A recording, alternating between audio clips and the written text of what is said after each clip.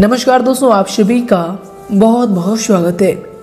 दोस्तों, आज के इस वीडियो में हम बात करने वाले हैं दो, तीन और चार जनवरी की आपकी राशि के महाराशि फल के बारे में।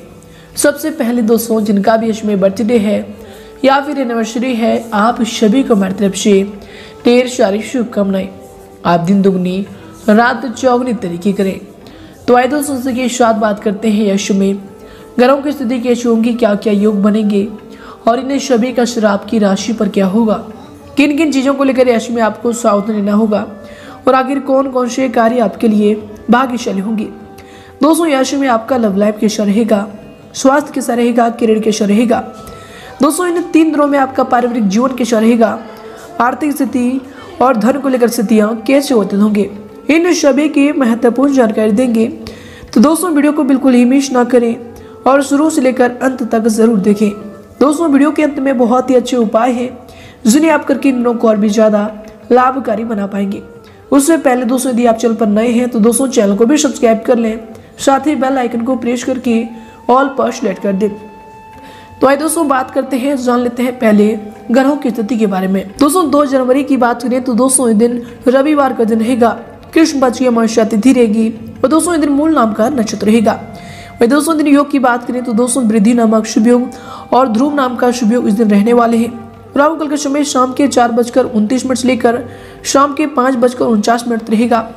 दोस्तों, ध्यान रहे, आप यह राहु काल के समय में कोई भी शुभ और महत्वपूर्ण कार्य को भूल से भी ना करें और दोस्तों, चंद्रमा दिन धनु राशि पर संचार करेंगे।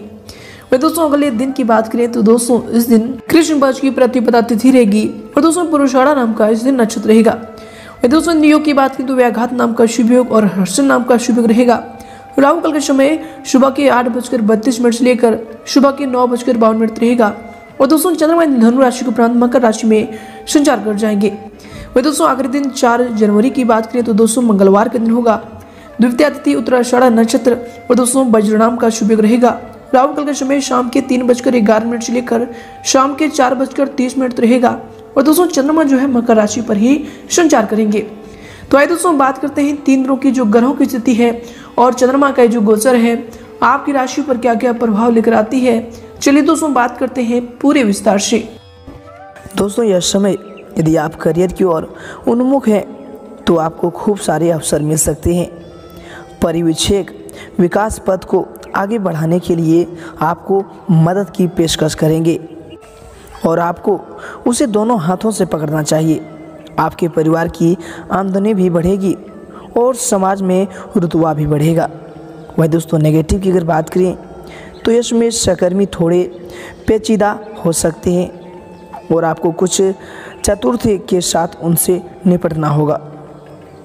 कार्यस्थल पर सभी के साथ कुछ सौहार्दपूर्ण संबंध बनाए रखने में कोई बुराई नहीं है।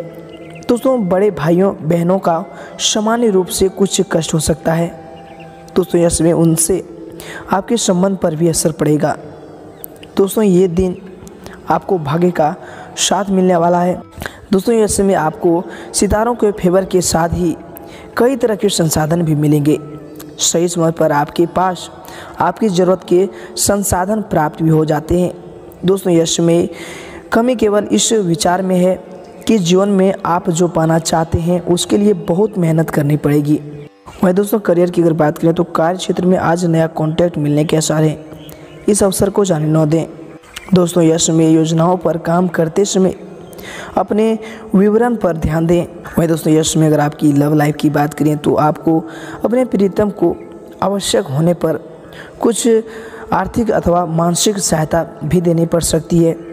क्योंकि संभवतः वे मानसिक तौर पर कुछ कमज़ोर महसूस करेंगे या उन्हें धन की आवश्यकता भी होगी। दोस्तों, यश में प्रियजनों से अपनी बात शेयर करने में झिझक न करें। उनसे आज पूरा सहयोग मिलेगा।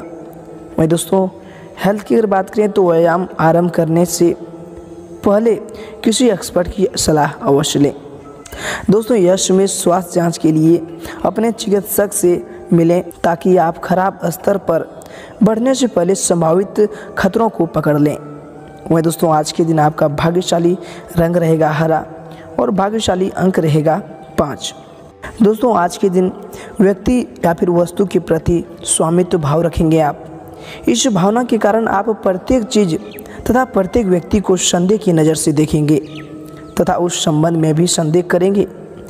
दोस्तों, यश में परिवार में चिंता और उत्साह का वातावरण रहेगा। संक्षिप्त में आज का दिन जो है आपके लिए आपत्ति भरा है। अतः दोस्तों, यश में आपको सावधानी पूर्वक बिताने के लिए गणेश जी का सलाह है। दोस्तों, आज के दिन अगर आपके वित्तीय स्थिति की बात करें तो यश में आप जो भी काम कर रहे हैं, वह आप में एक नया क्रिएटिविटी लाएगा। तकनीकी कार्यों में रचनात्मक होने से आपको लक्ष्य हासिल करने में भी मदद मिलेगा। दोस्तों, ये चीज़ आपको और भी अधिक प्रतिस्पर्धी बना सकता है। दोस्तों, आज के दिन आपको अपने वरिष्ठ में मान्यता मिलने की भी संभावना है। यानी दोस्तों, आज के दिन आपके अपने से बड़े पदों वाले व्यक्तियों से मान प्रतिष्ठा, इज़्ज़त, प्रशंसा भी मिल सकती है। वह दोस्तों, आज के दिन अगर आपके रोमांस, जीवन साथी यानी प्रेम संबंध को लेकर बात करें तो दोस्तों, यद्यपि आप अपनी पीढ़ी का पूरा ध्यान नहीं देंगे, दोस्तों, यश में आप यह सुनिश्चित करें कि आप उसे चोट तो नहीं पहुँचा रहे हैं। दोस्तों गणेश जी कहते हैं कि रिश्ते में चीज़ गलत हो सकती है, लेकिन आपको धैर्य रखने की ज़रूरत है। दोस्तों, आपको अपने पीर की नकारात्मक भावनाओं को मन की सकारात्मक स्थिति में बदलना होगा। दोस्तों, आज के दिन अगर आपकी आर्थिक स्थिति की बात करें तो अपनी टीम के साथ या फिर अपने ग्राहकों के साथ प्रमुख ऑफिशियल मीटिंग बुलाने के लिए ये दिन सही है, ये सफल होंगी। और आपकी वित्तीय स्थिति में योगदान देगी। दोस्तों, यह समय गणेश जी बताते हैं कि महत्वपूर्ण कार्य के कारण आपके लिए तनावपूर्ण स्थिति रह सकती है। आप बैठकों में व्यस्त रह सकते हैं। ऊर्जा के स्तर के कारण आप हर चीज़ से बहुत ही अच्छी तरह से निपटने में भी यश में सक्षम होंगे। आपको दिन के अंत में थकने की कोशिश नहीं करनी चाहिए। सेहत पर गौर करने की यश में ज़रूरत होगी। जिन लोगों ने अपना पैसा सट्टेबाजी में लगा रखा था। आज उन्हें नुकसान होने की संभावना बन रही है। दोस्तों सट्टेबाजी से दूर रहने की आपको सलाह दी जाती है।